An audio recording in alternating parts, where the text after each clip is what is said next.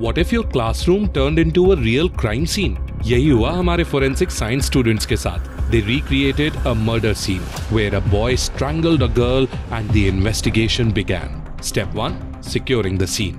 Barricades up, cameras out, and focus on every tiny clue.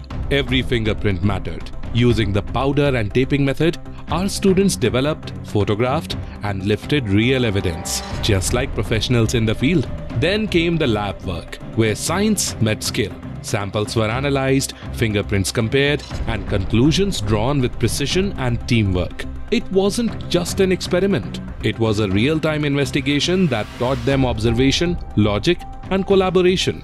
At KR Mangalam University, learning doesn't stop at theory, it steps right into the real world. Because here, we don't just study crime, we solve it. Drop a detect in the comments if you are ready to uncover your own case next.